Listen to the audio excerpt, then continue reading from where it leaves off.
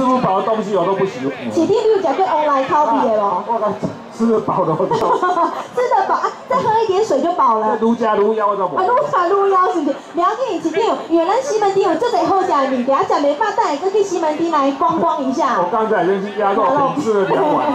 你吃两碗还没有吃饱？哦吃现在是很饱。哦，你现在很饱是不是？